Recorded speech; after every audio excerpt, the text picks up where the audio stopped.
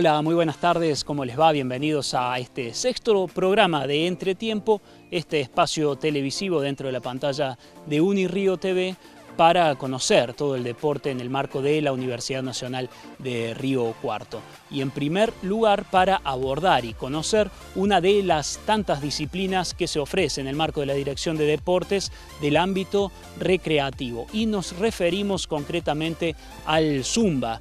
Dialogamos con la profesora, la instructora de esta actividad, Cecilia Gallardo, que nos comentaba de qué se trata esta mezcla de baile y de fitness que se da aquí en la universidad. Hemos empezado este año con una nueva propuesta.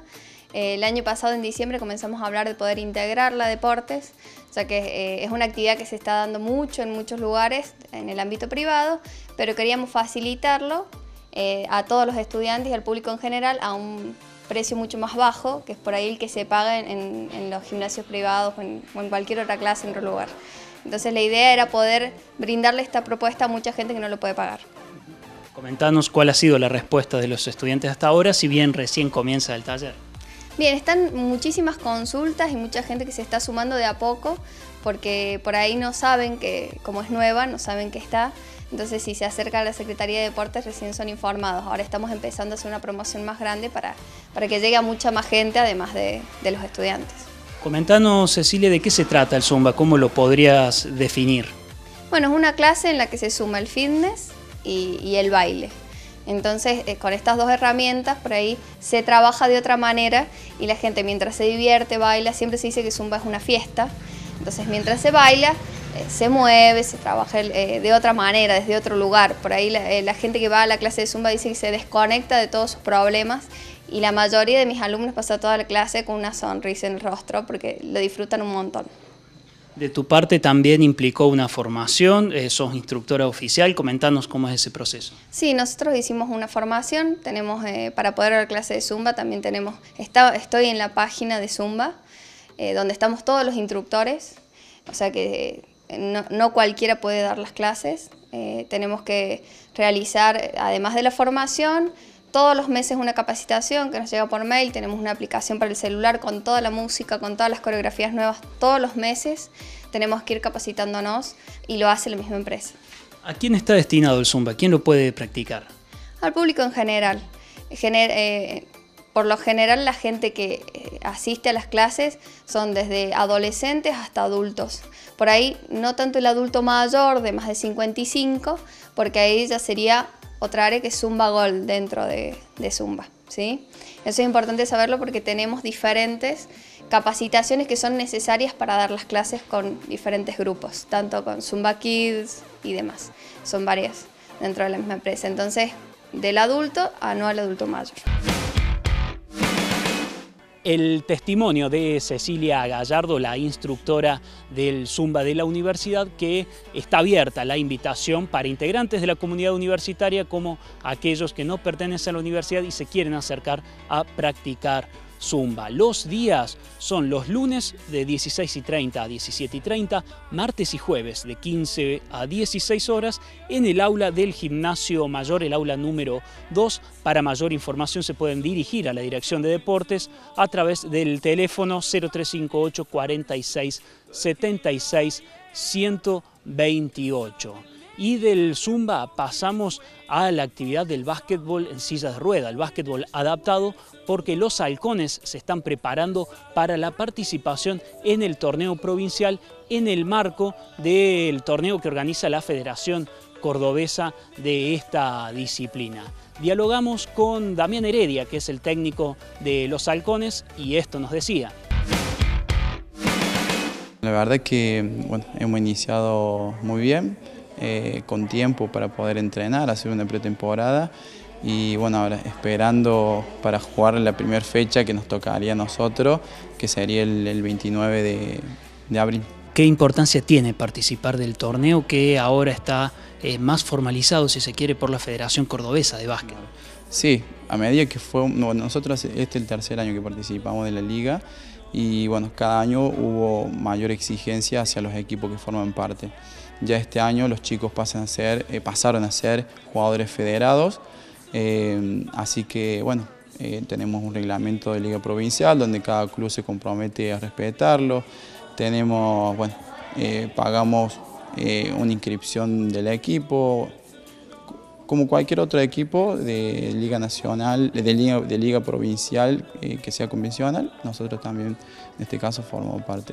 Ahora en este momento en actividad tenemos ocho chicos. Después hay algunos que están bueno, frenados por el tema de, salud, que bueno, esperemos que pronto los tengamos, los tengamos nuevamente. Así que por el momento bueno, somos, somos esos, somos ocho y por supuesto que también estamos esperando de que, de que se sume el, que quiera, eh, bueno, el que pueda, el que se informe sobre esta actividad, eh, que se acerque, bueno, pregunte y participe si quiere participar y bueno, y que pruebe. Eh, con este objetivo, recordarnos cuáles son los días y horarios de entrenamiento aquí en la universidad. Bueno, nosotros entrenamos dos días a la semana, que son los días jueves a partir de las 7 y media en el gimnasio menor y los días sábado a partir de las 2 de la tarde en el gimnasio mayor. Por este momento estamos entrenando jueves y sábados en el gimnasio menor por, bueno, porque se están haciendo remodelaciones en el gimnasio mayor. Eh, así que bueno, jueves y sábado, eh, en, en, los horarios que te dije, estamos acá en el gimnasio menor por el momento. El testimonio de Damián Heredia, el director técnico del equipo de básquet adaptado Los Halcones, que tendrá su debut en esta Liga Provincial de Básquetbol Adaptado el día 29 en la ciudad de Villa Carlos Paz, ocasión en la cual enfrentará al anfitrión el equipo de Bolívar. El fixture de este torneo continuará en Río Cuarto. El 13 de mayo será local Los Halcones y enfrentará a Fudiac de Altagracia, mientras que la fecha número 4 será en la ciudad de Córdoba. La quinta fecha, a disputarse en julio, será en la ciudad de Altagracia y los halcones enfrentarán al equipo de Poeta Lugones, recordando o remarcando que en realidad el torneo ya ha iniciado y en la primera fecha el equipo de la universidad, los halcones, han tenido jornada libre. Y con esta información marcamos la primera pausa de este entretiempo.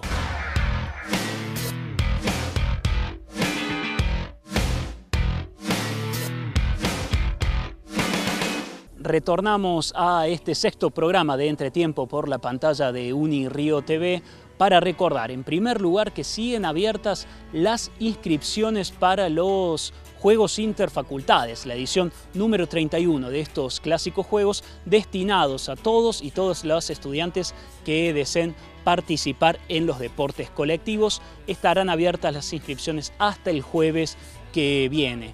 Las planillas de inscripción las pueden retirar en cada uno de los centros de estudiantes a los cuales pertenecen el equipo que se quiere inscribir a las disciplinas colectivas. Y pasamos de la información de los interfacultades a un adelanto para esta noche del básquetbol femenino porque se va a jugar una nueva fecha del torneo a apertura de la Asociación Río Cuartense y Universidad. Desde las 21 y 45 por la sexta jornada de este torneo visitará al equipo de Banda Norte D.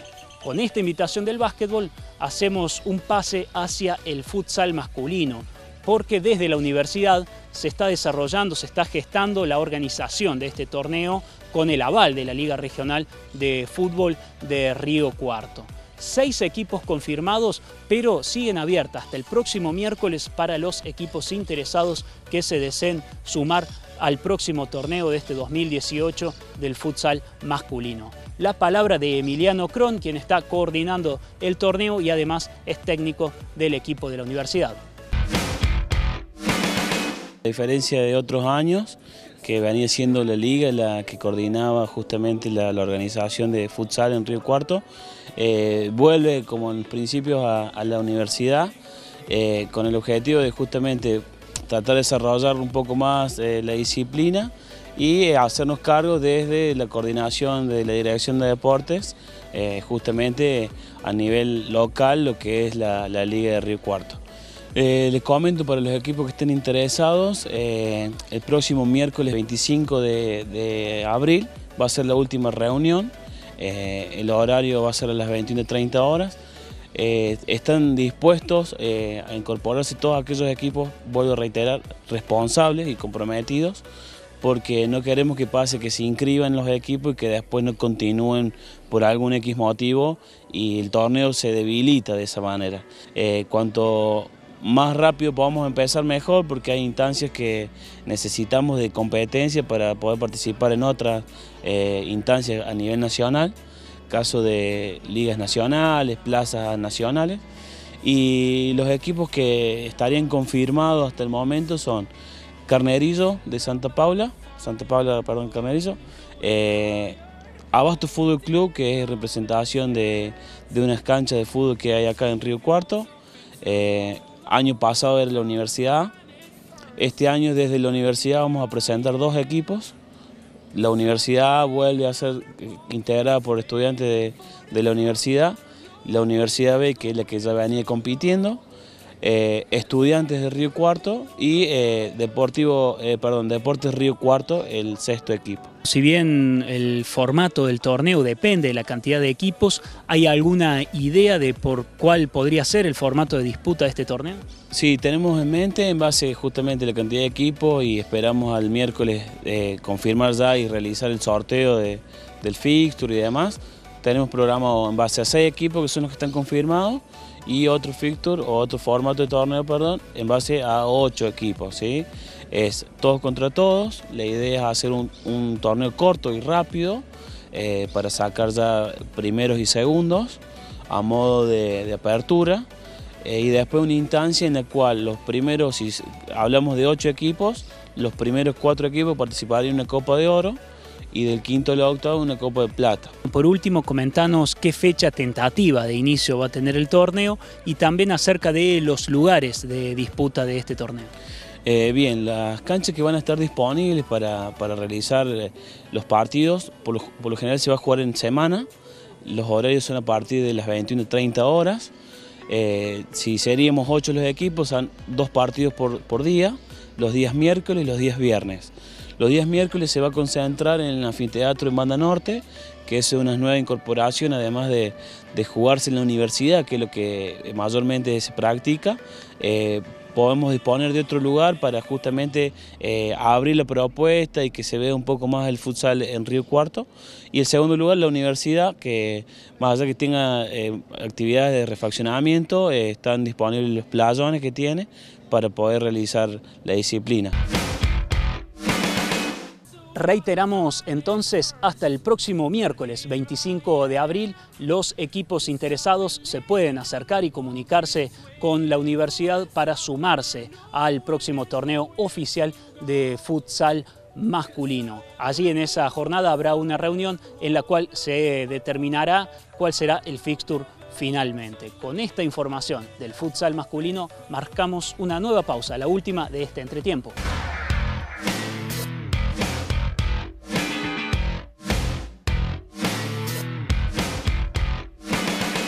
Retornamos a este sexto programa de Entretiempo para dar cuenta ahora de la previa de los Juegos Universitarios Regionales en su instancia final. Vale recordar que la universidad fue anfitriona el año pasado de la instancia regional y desde el 8 de mayo hasta el 13 del mismo mes en la ciudad de Buenos Aires se va a disputar los finales de esta edición 2017.